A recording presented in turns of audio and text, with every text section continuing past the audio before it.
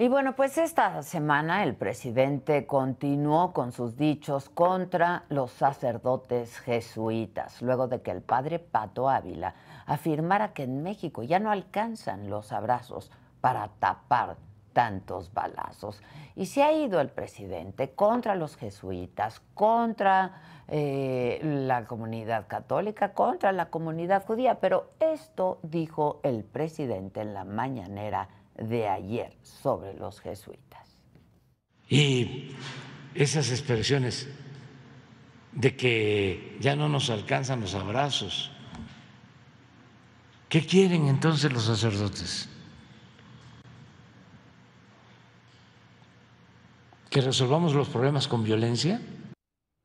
Sin embargo, esta semana, como les decía, atacó también a la comunidad judía desde Palacio Nacional en el quién es quién de las mentiras del miércoles. Ana Elizabeth García Vilchis puso un video de Atypical TV. Es un medio que dirige el publicista Carlos Alasraqui, en donde Beatriz Pajés, en uno de estos programas, desayunando en el que está eh, Carlos Alasraqui, estuvo también Beatriz Pajés como invitada. Ella es directora de la revista Siempre y afirmaba que por el aeropuerto Felipe Ángeles estaban ingresando venezolanos de forma irregular. Luego de transmitir el video, esto dijo la señorita Vilchis. Se entienden los ataques de Atypical TV que se dedica a desinformar como el propio Alasraqui ha reconocido, no importa mentir con tal de atacar al presidente López Obrador.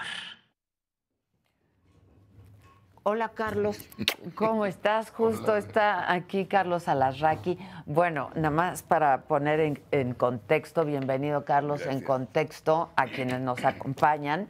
En esa misma mañanera, la del miércoles, el presidente dijo esto sobre nuestro invitado esta mañana, Carlos Alarraqui. El señor Alarraqui, este, pues es seguidor del pensamiento Hitler.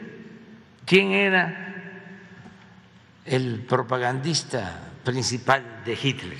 Goebbels, Joseph Goebbels como 10 años fue el ministro de propaganda de Hitler. Bueno,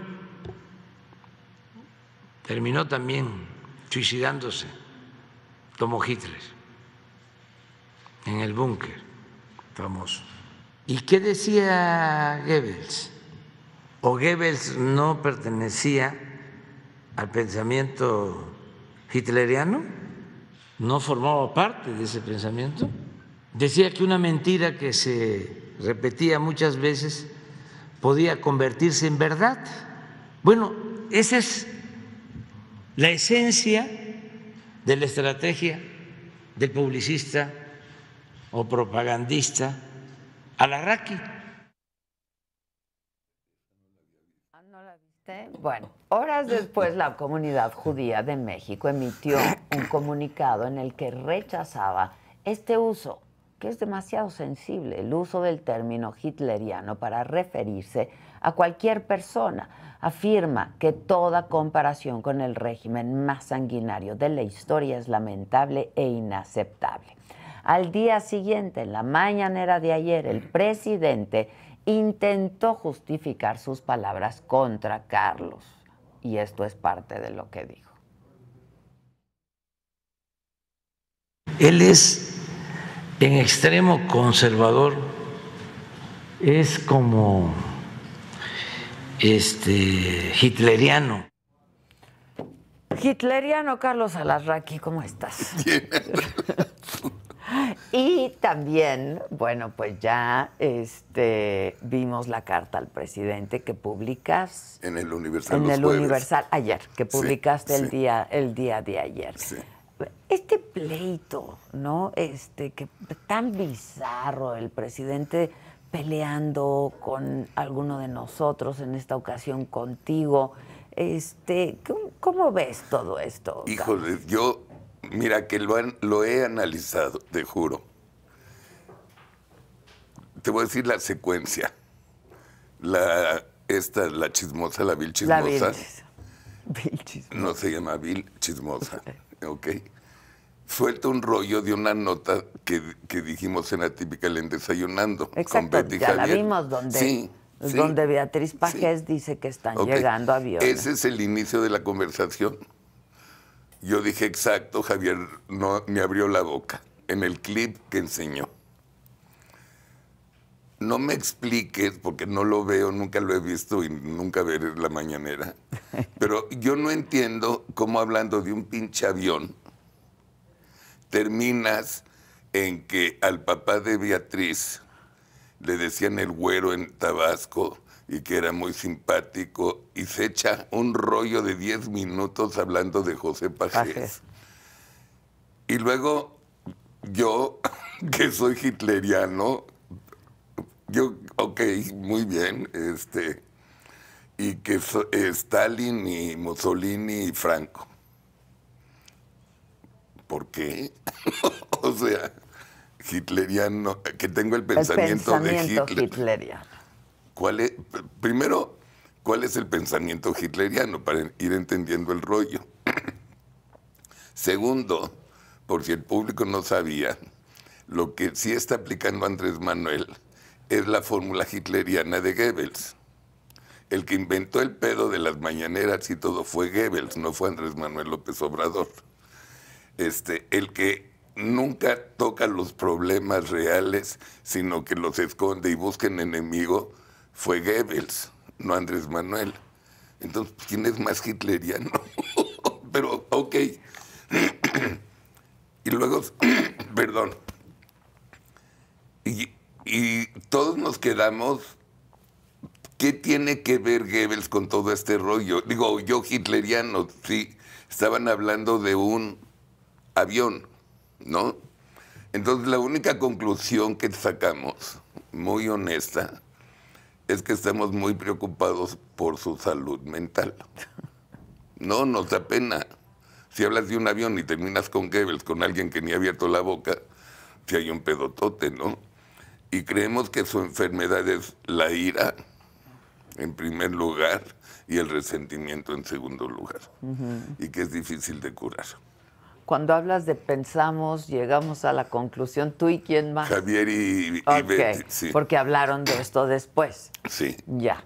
Ahora, tú dices exacto en relación a esta, a esta nota que este pues comparte con ustedes Beatriz Pajes, porque está documentado eso. Está en el financiero. Salió, nació del financiero. Yo sé. 100% documentada. Pero como 15 días antes, ¿no? Beatriz va de invitada al programa y entonces lo no, comenta. Beatriz, Beatriz es conductora. Conmigo Ah, y con contigo. Javier. sí, y con- cada ah, martes y los jueves. tres, ok. Todos los martes y, Y jueves. tienen invitados, ¿no? De pronto. Sí. Ok. Y este y ella menciona que es una nota que publica el financiero. Sí, sí, ¿no? sí, sí, sí. Ok. Este, pero a ver, más allá de todo esto, tú eh, has sido muy crítico. A ver, tú eres un publicista muy destacado, has hecho eh, publicidad comercial, política, etcétera. Y cuando, ¿cuál es la línea entre publicidad cuando estás hablando pa- publicidad para los políticos con propaganda política? Carlos? Propaganda es lo que hace el Morena. Eh, su mamada de la esperanza, que lleva cuatro años y sigue en esperanza. Yo creo que ya A no ver hay cuándo mucha será esperanza. realidad, ¿no? Y este. Y propaganda que te dicen mentiras muy eh, volubles para que la gente no lo investigue y lo tome por bueno Ok. sin pruebas, ¿no? Y este, y eso yo se lo dije a Roberto Madrazo en un platicando también en Atípica, Ok. que él editó dos veces, editaron la conversación con Roberto. Ok. Ellos pusieron que para mí es muy fácil darle la madre a Morena porque tienes que hacer propaganda en lugar de publicidad. Que es mintiéndoles sobre la realidad. Hasta ahí llegó lo El- que puso. El, clip, ajá. Pero ese no fue el clip. ¿Cuál fue? Véanlo en Atípica. No, bueno, cuéntame. No, pues era la explicación de que eh, cuando entras a pelear con alguien, es de madrazos iguales. o sea, no puedes salir con la sofisticación de publicidad de que este candidato es precioso y no sé qué y bla, bla, bla. Aquí tienes que salir a hacer publicidad comparativa y echarle la culpa al, al que esté en el, en el poder. Eso es lo que en esencia yo le estaba diciendo. Ok. Y hacerlo exagerado, ¿no? Ok. Ahora, insisto, em, tú has sido muy crítico de esta administración, ¿no? Sí. Este, quizá no tanto en administraciones anteriores. No. ¿no? Ahora tienes este espacio que es tuyo, eh, tu canal de, de Atypical, en fin. Eh, ¿Qué te ha movido para ser tan crítico? Digo, yo creo que los periodistas, pues a eso nos dedicamos, a señalar, a cuestionar, a, eh, la crítica, ¿no? ¿A ti qué te ha movido? Era muy predecible cómo iba a gobernar. Así no se gobierna. Y lo único que yo aprendí de López Obrador es que cuando él era oposición, era un perro. Eso se lo aprendí. Ahora que él está en el poder, se lo copio porque él me lo enseñó. Y soy igual de perro que él era cuando era oposición. Ahora, ¿ustedes fueron cercanos? ¿Trabajaron juntos? Nunca, No, ni, ni, olvídate, no, no. Ni aunque me invite a tomar café, no jodas. No, no, no. bueno, es un hombre muy interesante, Andrés Manuel López Obrador. Mira, lo, lo, he visto un par de veces en eventos sociales, en casas de, de ya sabes quién. Ok. Ok, y este, pues hemos ido, hemos platicado varias veces con él, pero no, no es de mi tipo de amigos. Ok, ok. Nunca diste ningún tipo de asesoría, nada. ¿Ahorita estás haciendo algo con algún con algún partido político? ya no, te dedicas a eso. Sí me dedico, pero no me contratan. ¿No te han contratado? No, no, okay. Pero en términos de publicidad para productos La agencia sigue muy bien. Mi sobrino Rafa Dacurte es el que la está dirigiendo muy bien. Ok, y va muy bien. Muy bien. Muy bien. Ahora, este, este andar tuyo por esto que estás haciendo ahora en Atypical, ¿cómo te has sentido? Este, porque es, a ver, cada programa que ves de Atypical, no contigo, es pues ahora sí que... Madriza. Madriza, madriza. Pero con hechos, ¿eh? O sea, ¿no le reconoces nada bueno al presidente? ¿No, ha hecho nada no, bueno? No, no. Sus intenciones son muy buenas, pero él, él no sabe cómo hacerla. Él tiene un resentimiento con el pasado terrible. Su hueva de discurso de Felipe Calderón, eh, hueva, o sea, pues ve, hace un aeropuerto de 14 puertas que costó 430 mil millones de pesos, porque al cortar Texcoco, que eran 300 mil millones, pues tuvo que pagar a todos los proveedores 300 mil millones, en lugar de terminarlo. Y lo tienes que sumar. Luego su presupuesto del pinche aeropuerto este raro era de 60 mil y llegó a 130 mil. Sumas 430 mil. Suma 50% de una refinería cuando ya dijeron que en el 2040 se acabaron los coches este, con gasolina. Con gasolina. Pues van a ser eléctricos porque este, este planeta ya no da para Ya no da más. Ya no da claro, más. Claro, claro. Ahora, este, ¿por qué te estás dedicando a madrear al presidente? ¿Por qué lo haces? No, no es tu estilo, a ver, quizá. Ahí te va. Tú eres un hombre muy simpático, ¿no? La verdad, eres divertido, simpático, este, en, fin. ¿Por qué, ¿Por qué te has dedicado a esto? Me corren de Azteca después de 14 años. Ok. Ok. Iba a entrar a la otra empresa a después, después del COVID. Ok pues el COVID, cuando o sea, ¿cuándo voy a entrar claro, allá? No, el COVID ya no se va a acabar. Y una noche, así como loco, tres de la mañana, le digo a Cintia, oye Cintia, voy a abrir mi canal de televisión en internet. Y se me metió a la cabeza que quiero dedicarme a tener un canal de televisión. Yo nací de la televisión, no, no de publicidad, empecé con Don Luis de Llano en todos los canales del mundo. Y era director de programación, o sea, sé mucho de televisión. Y con un maestro como Don Luis, imagínate. Sí, claro. Y empezó la idea y me voy emocionando, emocionando, emocionando y como buen publicista tienes que crear un, un concepto de marketing, si no, pues, ¿qué onda? Claro. Entonces dije, voy a hacer un canal de oposición. Mm. O sea, sí te lo planteas. Sí, sí, pero mi pensamiento es mucho más profundo. Yo quiero hacer el primer canal de televisión en Internet. Uy, pues estamos compitiendo. No, no es tú todos, todos somos complementos, aquí no hay competencia. No. Los programas están en la nube, lo ves cuando quieras y se acabó. Pero ¿qué es lo que significa para mí? Idealmente, no sé qué día, vamos a llegar a tres programas por día, lunes, domingo.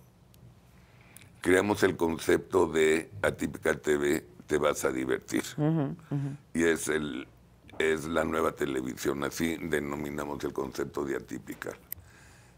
Y he tenido la enorme suerte de que todos los que he invitado a que vengan a colaborar nos han dicho que sí. Okay. Y hemos creado conceptazos, conceptazos, conceptazos, muy buenos programas. Ahora Valentín está ya en, en Atypical con mm.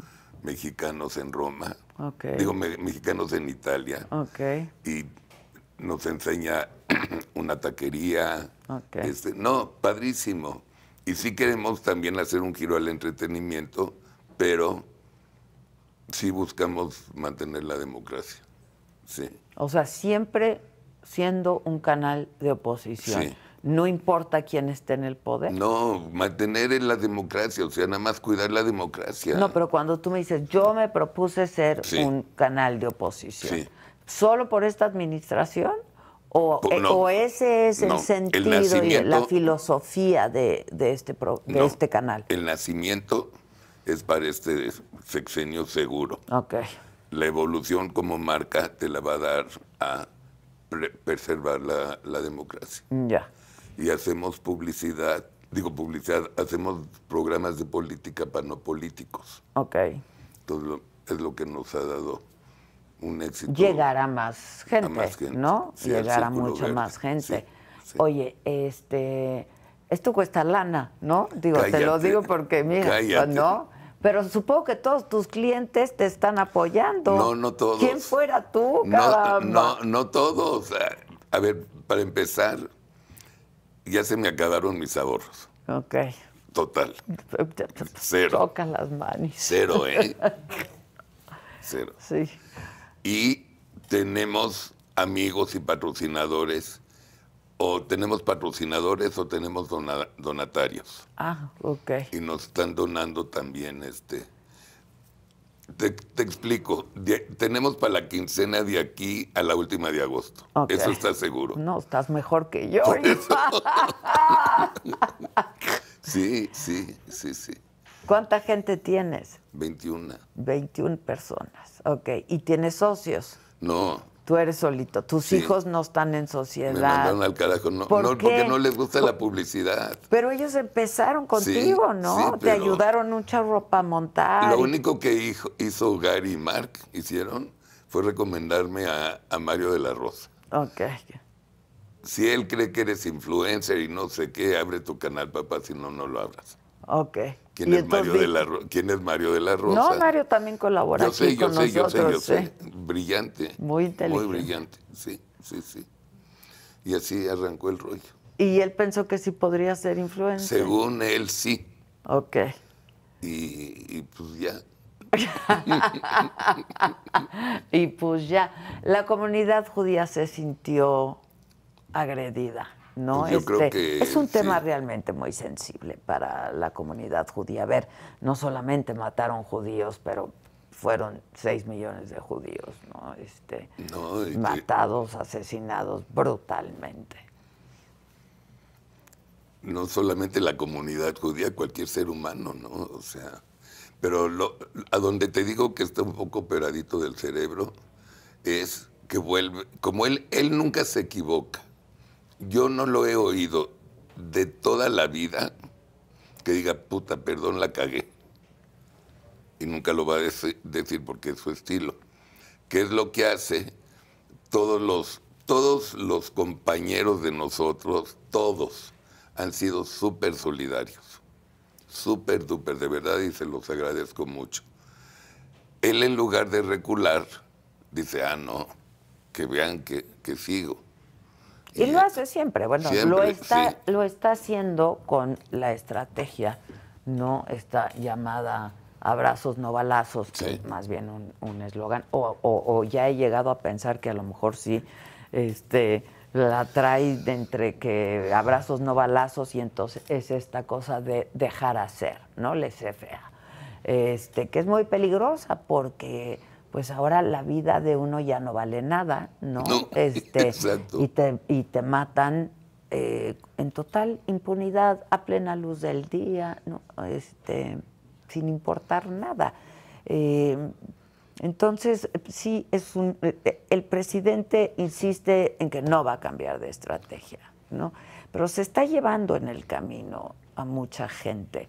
Ahora, no entiendo, el presidente es un hombre muy inteligente, Carlos, y tú debes de, saberlo.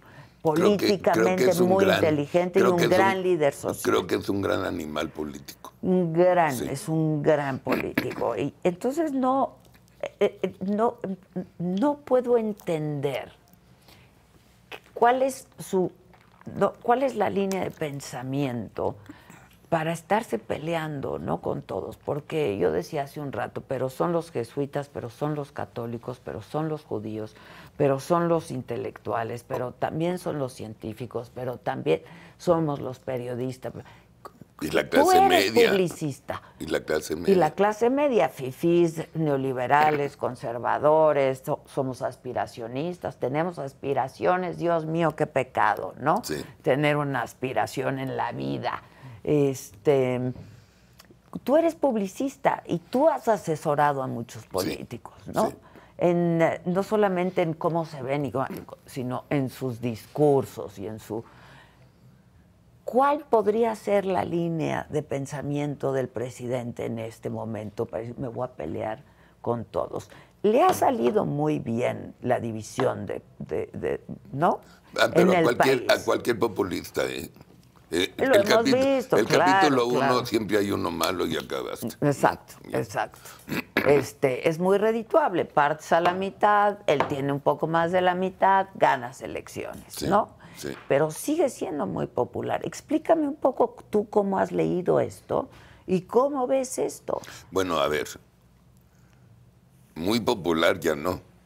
Él arrancó en 84 y está en 54. Bueno, hay un desgaste natural del ejercicio del poder, ¿no? O sea. En, en marketing político yo no lo inventé, me no, lo, me no, por eso te lo digo, sí. Un candidato de 64% de aprobación hacia arriba está perfecto. Hacia abajo es Houston, you have a problem. Ok. Ok, entonces 54 es Houston, he has a problem. Ahora, que a mí no me importa eso, porque de todos modos ya, está electo. Pero cuando las encuestas dicen, ¿y cómo lo calificas de, en su trabajo? En la seguridad del carajo, en el todo, o sea, el desempeño de él está muy mal calificado. Pero el, cae bien, pues ni pedo, cae bien, cae bien. o sea, ¿qué le vas a hacer? Él no va a agarrar nuevos nuevas gentes. Él, él habla a, su segmento, que son 14 millones de, gentes y que espera que crezcan para la elección. Para el 2024. sí, eso es todo. Ok, y eso él lo tiene muy claro. Entonces no le importa, a ver, tú que eres marquetero político, ¿no? A él no le importa pelearse con, pues, con, con muchos porque tiene a su base muy cinchada. No, a él le importa y mucho que se hable del diario como ahorita estamos hablando. Tendría un pedototote si alguien no habla de él un día. Entonces, él es el que pone la agenda. Si bien o mal. No, esa es su preocupación. Por eso pone la agenda todas las mañanas. Ya. Si tú fueras tu asesor, su, fuera su marquetero político. No hay forma. Por eso, pero si tú fueras, ¿qué le, qué le estarías diciendo ya a estas alturas? Ah, pues yo le diría, presidente, no mames, ya ganó. no es candidato, es estadista, sea presidente de todos los mexicanos, no divida. Y que cada partido haga lo que quiera. Bueno, pero es que él ya está pensando en su sucesión, Carlos. Sí, claro, ¿No? claro. Entonces sigue siendo candidato. O sea, él. Por eso, él- no, es lo que yo le diría, deje de ser candidato y sea estadista. Sí, bueno, pero eso Pues ya no. no fue. Por eso. Eso ya no fue. El presidente quiere continuidad de esto que se llama la cuarta transformación, ¿no? Que sí ha habido una transformación en México, este, pero él quiere continuidad. Entonces, pues está haciendo todo para que eso ocurra. A ver, yo te pregunto, y le pregunto al público, ¿tú crees que Hidalgo y Morelos se sentaron a chupar un día en una cantina y que Morelos le dije, "O- oye Miki, ¿y si hacemos la independencia, cabrón? ¿Te imaginas el puto éxito que tendríamos? Saldríamos en, la, en, en los periódicos, en la historia, puta, y que le diga, Josemá, está chingón, Chema, Chema. esta idea, chingona tu idea. Así fue la independencia, fue por otras razones. Sí, claro. Nadie dice, la historia es la que califica. ¿Quién es Andrés Manuel para decir, me ponen en la historia a huevo como cuarta transformación? ¿Quién es él? El que lo hace es la historia, no él. Y él nunca logró entender eso. Él cree que jodiendo y jodiendo y jodiendo, él va a terminar en la calle de reforma que se va a llamar cuarta transformación. O sea, y no es cierto, porque ni siquiera han vendido nunca el concepto qué es la pinche cuarta transformación. Hablan de la cuarta transformación, el tarado de, de Dante, ¿cómo se llama? El Delgado. El- Dante del- No, no, no, el otro. Mario Delgado. Ma, ese tarado. Este, que repite lo mismo que Andrés. No, no aterrizan, no dicen, y hay que seguir la cuarta transformación y la cuarta transformación. ¿En qué consiste, ¿Qué es la no? pinche cuarta transformación? Tú sal a la calle o ustedes salgan nada más a nivel O- a ver, muchachos, ¿qué es la cuarta transformación? ¿Quién sabe? Bueno, ahí, ahí les va algo peor, que es neoliberal, que es conservador, y a quién chingados le importa, para empezar. Pues sí, a la gente le importa que le vaya bien. ¿no? Vivir en democracia y con Vivir en alegría. democracia, con seguridad, con educación, con acceso a la salud. Eso es, ¿no? Ahora, sí le entregaron un país complicado, pero como yo siempre digo, él quiso ser presidente, él recorrió el país, no ha- na- es- efectivamente no hay nadie que haya recorrido el país tanto como él. Él sabía de los problemas que tenía este país. Y por eso su ideal de transformar a este país, ¿no? En algo más igualitario, más equitativo. Porque, a ver, también es cierto, Carlos, ya no se puede este país con tanta desigualdad, con tanta pobreza, con tanta marginación. A ver, No es un, no es, no es un país justo. a ver, quien, el que diga que no es cierto es un pendejo. Obviamente todos, obviamente, desde que era yo chiquito, he oído el mismo discurso. Sí, sí, sí. sí. menos pobres, más educación. O sea, los deseos de López Obrador sean, eran los correctos, Sí, sus ideales. pero fue, fue este puro discurso. Quita todo lo bueno del pasado porque tiene un pinche trauma con el pasado y que quiere hacer su nueva cuarta transformación, etcétera, que quitó todo lo bueno. Imagínate, cuatro años después sigue el, el pedo con Calderón. Ya todo el mundo lo tomamos de cachondeo. Sí, ya. O sea, ya. llovió, Llovió Calderón culpa de Calderón. sí. Sí, sí, sí, sí. O sea, Entonces tú vas a seguir en esta línea. sí, Atypical va a seguir como empresa, como canal, tiene que tener. Pero tú en lo personal, o sea, te manifiestas Sí, de oposición. Sí, ¿no? Y vas a seguir en esta sin línea. duda, Aunque sin te duda. digan que tienes Misa. un pensamiento hitleriano. Sí. Tú dijiste una frase por ahí, dice- dijiste, hay que mentir y mentir y mentir Propaganda. para, en- para quitar a López Obrador, ¿no? ¿O algo así. No, no, no. A ver. Eso fue lo de madrazo, lo que te Exacto, platiqué antes. exacto, sí, sí, pero- no. Que a Morena no, no se le gana con publicidad, se le gana con propaganda, igual que ellos. Ok, Igualito. igualito. Nada más reviértelo. Eso es lo que hay que hacer. Repetir una mentira mil veces. Mil veces. ¿Mentira? Porque tienen... La mentira es subjetiva, Adela. No, bueno, hay datos duros. Aunque ellos tengan otros datos, hay datos duros. A ver, ¿cuántas veces has oído a Andrés Manuel López Obrador que dice que iba por la esquina, se pararon y le dijeron que por favor se relija y que él dijo sí, que no? sí. ¿Quién puede desmentir ¿Es eso? real o mentira? Pues nadie sabemos. Pero entonces imagínate un comercial. El pueblo le pide a Andrés Manuel López Obrador que sea reelecto. Yo no, porque respeto la ley. Puta, lo máximo. Sí, sí, sí. sí. O sea, ¿Y quién puede, Es la- ¿quién amor, puede desmentir algo así? Pues nada, nadie. nada. Nadie. yo cuando iba, este, cuando trabajaba duro en la agencia, este, no es cierto, ni me visión, que era del gobierno con González Mm. Sí, Pedrero. claro. Echeverría era presidente, que entre paréntesis fue un gran amigo de mi papá en la escuela. Ah, ok. mucho tiempo y, y, este Rodolfo y mi tío Samuel y demás. Entonces, para que no me estén chingando los políticos, me, me divertía mucho. Llegaba un lunes y les decía, ayer comimos el presidente y yo.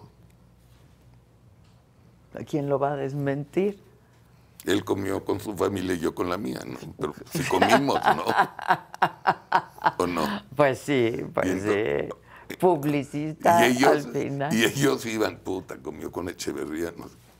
Yo nunca dije, ayer dije comimos, ayer comimos el presidente y yo. Y por ejemplo, a tus programas, tú, tú tienes el desayunando, es el que tú haces. No, yo hago desayunando, platicando y por qué. Ah, ok. ¿Son tres programas? Yo hago tres. Ok, tú haces tres. Luego Lili Telles Ajá. hace con Xochitl y con este Kenia. Ok. Comiendo. con- Oposición. Ok. Sí. Luego, ah, perdón, también hago Ricardo, Ricardo Roche y yo. Ah, ok. Sí, que es muy divertido. Ok. Luego, O sea, te- tienes programa todos los días. casi todos, todavía no todos. Ok. Luego tenemos Tere Vale Ajá. Con sus invitados. Ok. Luego mi hermana Valentina con Mexicanos en Italia. Creo que son esos ahorita. Ok, Sí. ok.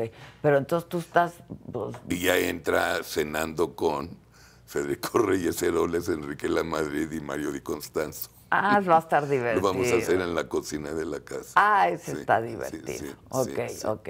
Pero entonces, tú desayunando, el otro es... ¿Por qué? ¿Por qué? Ese es con Josie Rubinstein, con Sarita Dulce y con Luis Berman. Aquí, ¿Ahí de qué hablan? Ahí hablamos de un tema político y luego a la mitad Luis Berman hace su cápsula muy irónica Ok.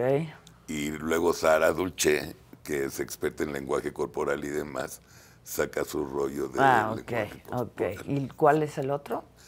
Y Ricardo, Y Ricardo. Sí. Eh, y Ricardo Rocha y tú. Sí. ¿Estos se transmiten en vivo o los graban? en vivo. Todos son en vivo. No, no todos. Ok, hay algunos grabados, sí, pero es desayunando es, en vivo, Sí, ¿no? por supuesto, Ok. por supuesto. Este, y la gente qué te dice, porque a ver, también está bien, las audiencias La- están bien La marcadas, ¿no? gente nos adora. O sea, este, nos adora. Hemos logrado armar una comunidad. Una Como filmamos en la casa, en el patio de la casa, se sienten en su casa y se sienten muy contentos. Entonces hacemos el programa en vivo y los que nos escriben y demás, pues ya conoces como al 10% y ya los Sí, saludas claro, y todo. el claro. ro- y Es una comunidad fantástica. Luego se meten los chairos a- a- con sus bots a mentar madres y demás, pero nunca los fumamos. Ok. Les pedimos lana, por supuesto, y son muy generosos. ¿Sí? Sí. Muchachos, por favor, mi comunidad, sean generosos también. Sí. Con el superchat. ¿o qué? Exacto. Con el superchat. sí, sí. Ok. Y este. Y Tere lo tiene en vivo. platicando no es en vivo porque depende a tu Claro. invitado. Pero ha venido. ¿Y platicando también es político o ahí hablan de otros temas? Hablo de otros temas, pero fíjate qué chistoso. No sé, Siempre acaban hablando de la no, política. no sé tu experiencia en Televisa, pero te voy a decir, en Azteca, cuando tenía platicando, no lo veía ni la mamá del camarógrafo. Traía un político, no lo veía nadie. Aquí es al revés. Así es al revés. Traje al finito López, invicto, boxeador invicto. sí, sí. Puta, todo el ¿Y no rollo. jaló? 17 mil, 20 mil. Finito López, Diego Verdaguer, que en paz descanse. En vivo, 18 mil, 23 mil. Hacemos un homenaje, 100 mil, porque ya estaba muerto. Explícamelo. Sí, sí, sí. Y sí. traes a los políticos y son un chorro. Sí, es que la, la- a ver, El está bien es polarizada, raro. la, la- sí, Sí. eh, la sociedad está completamente polarizada y entonces, como ya saben tú de qué vas a hablar y como sabe Loret de qué va- va- van a hablar, o sea que su postura es muy clara, ¿no? Ayer, Mario, yo, yo, vine- yo fui a León a dar una conferencia con Enrique Lamadrid y Ok. Federico, no, y, y Juan Carlos Romero Hicks. No me enteré nada de lo que pasó ayer. Y me manda al final en la noche, tuvimos ayer por el desmadre que armó, gracias el presidente, Claro.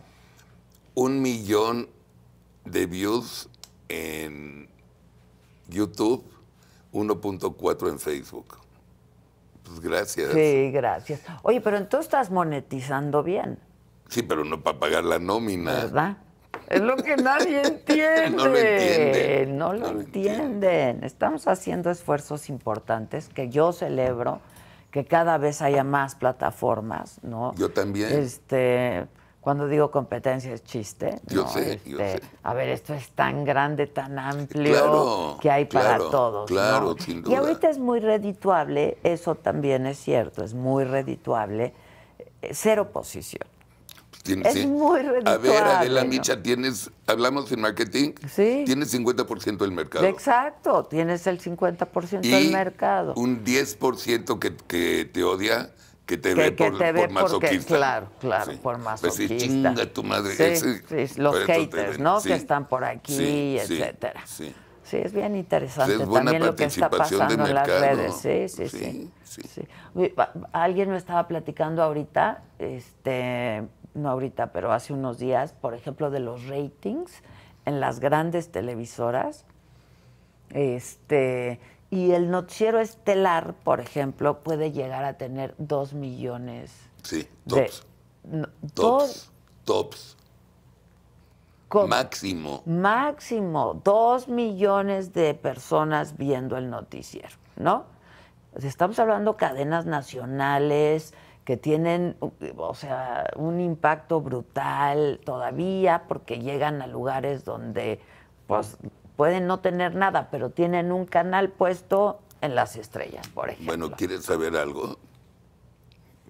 Est- Estás sentada Sí, y yo estoy seguro que tú también. a ver. Tienes más rating que radio, Ah, no, claro. que noticieros de radio. sí, claro. Nosotros tenemos más rating. Por ejemplo, el, el de los lunes de Lilita y ellos, andamos empatados con este abajo de Joaquín Ok, y empatados con Denise. ok. Los dos millones. ¿Cuáles dos millones? No mames. Mucho más. Mucho menos, todos. No, no. de- ¿Cuánto?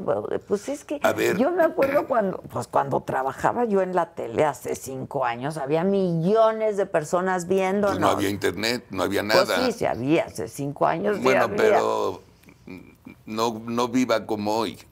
No tan viva, No. sí, no tan viva. Y eso, la, o sea, está es muy impresionante. O sea, Yo estoy muy Yo me acuerdo cuando yo hice pues algunos programas que estabas hablando de 50 puntos de rating, No, o bueno, sea, que eran una no, no. locura, el Big Brother, por Sí. Ahora sí. nadie tiene esos esos Como nada. ¿Tú tienes acceso a ratings, por De ejemplo, te los comentan? los puedo pedir. Ok. Lo- Los, de, los de Atípica los tiene Mario. Sí, sí, Este, sí, sí. los de Atypical, pero no, me refiero a los ¿cómo están los A ver, mi ratings amor. ahora?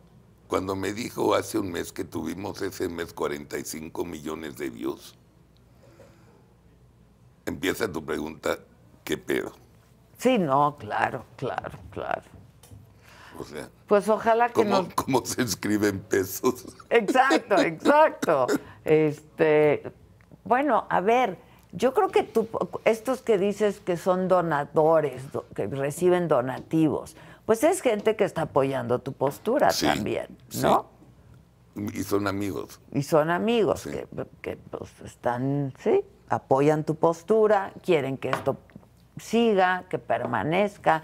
Y esto es un poco como de día con día, o sea, Es día con día. porque pues habrá un momento en el que ya no podamos pagar, ¿no? Este, esperemos que eso no ocurra porque necesitamos espacios como estos, necesitamos más foros como estos, ¿no? Sin duda. Pero además es la nueva transformación de la tele, ¿estás de acuerdo? O sea, Completamente.